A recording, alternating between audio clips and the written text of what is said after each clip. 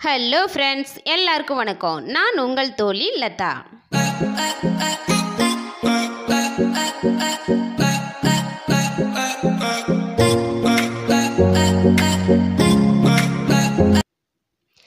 Friends இப்போ நம்ம வீட்டில் லஞ்ச் டைமில் அதிகமான காய்கறிகள் செஞ்சிட்டோம் அப்படின்னா அந்த காயை நமக்கு வேஸ்ட் பண்ண மனசே வராது. அப்போ அந்த காய்கறிகளை வச்சு என்னென்ன மாதிரியான டிஷ் செய்யலாம்? செஞ்சு குழந்தைங்கள நம்ம இம்ப்ரெஸ் பண்ணலாம். வீட்டில் இருக்கவங்களையும் இம்ப்ரெஸ் பண்ணலாம் அப்படிங்கிறத பார்க்க போகிறோம் இப்போ பாருங்கன்னா என்னோட வீட்டில் மத்தியானம் வந்து எல்லா காய்கறிகளையும் சேர்த்து கொஞ்சம் சிக்கன் மசாலா ஆட் பண்ணிவிட்டு இஞ்சி பூண்டு நச்சு போட்டு ஒரு சூப்பரான டிஷ் வந்து பண்ணியிருந்தேன். இது கொஞ்சம் மிஞ்சிருச்சு. அப்போது இதை யூஸ்ஃபுல்லாக பயன்படுத்தணும். அப்போ ஆலு பரோட்டா செய்யலாங்கிற முடிவுக்கு வந்துட்டேன். ஒரு கப் கோதுமை மாவு எடுத்துட்டு கோதுமை மாவு தண்ணி சேர்த்து பிசையாமல் பால் காய்ச்சி ஆற வச்ச பால் சேர்த்து நான் இதை வந்து பிசைகிறேன் அப்போ தான் வந்து அந்த லேயர் ரொம்ப சாஃப்டாக வரும்.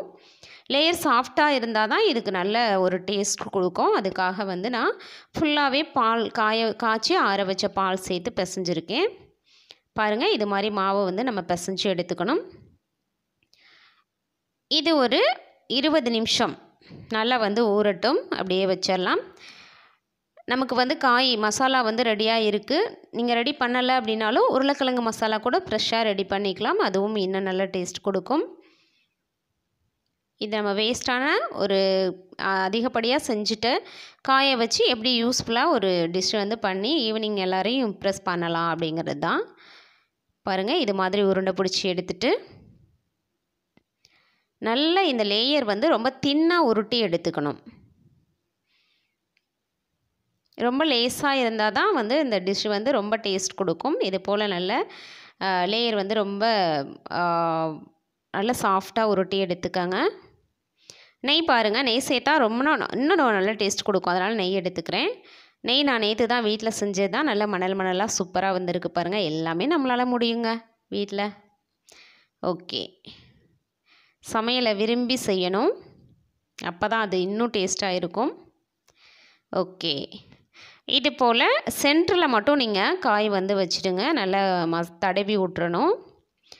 அதுக்கு மேலே இது மாதிரி சமோசா ஸ்டைலில் நீங்கள் வந்து இந்த லேயரை வந்து மடித்து விட்ருங்க இது ஃபஸ்ட் டைம்ங்கிறதுனால எனக்கு கொஞ்சம் கோணலாக வந்திருக்கு. அடுத்தடுத்து நல்லாயிருக்கும் பாருங்கள் ஓகே இப்போ ஃபஸ்ட்டு கீழேயும் நெய் போட்டாச்சு மேலேயும் நெய் போட்டுட்டு நல்லா பிரட்டி போட்டு இதை வேக வைக்க வேண்டியதான் இது பொன்னிறமாக வந்த உடனே நம்ம எடுத்துடலாம்.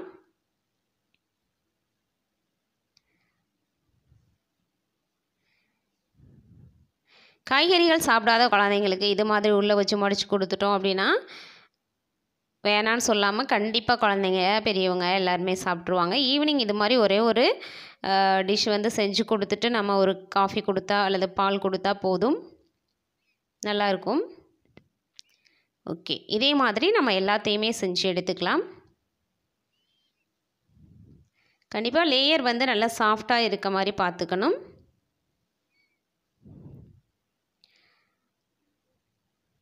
உங்களுக்கு என்ன தான் பிடிக்கும் அப்படின்னாலும் எண்ணெய் போட்டும் செஞ்சுக்கலாம். நல்லா தான் இருக்கும்.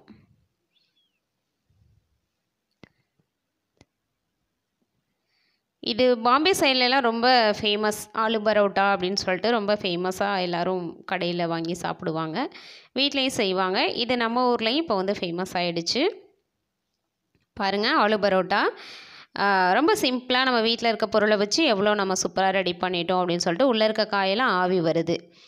இப்போ இந்த ஆவி வர நம்ம சாப்பிட்டோம் அப்படின்னா அந்த ஈவினிங் டைம் மழை டைம்லலாம் அவ்வளோ வந்து நமக்கு ஹெல்த்தியாக இருக்கும் நல்லாயிருக்கும் இதே போல் நீங்களும் ட்ரை பண்ணி பாருங்கள் ஃப்ரெண்ட்ஸ் கண்டிப்பாக உங்களுக்கு பிடிக்கும். நம்ம சேனலை சப்ஸ்கிரைப் பண்ணாதவங்க சப்ஸ்கிரைப் பண்ணிவிடுங்க அப்படியே பக்கத்தில் இருக்க பெல் பட்டனையும் கிளிக் பண்ணுங்கள் லைக் பண்ணுங்கள் ஷேர் பண்ணுங்கள் கமெண்ட் பண்ணுங்கள் தொடர்ந்து பயணிப்போம். நான் உங்கள் தோழி லதா.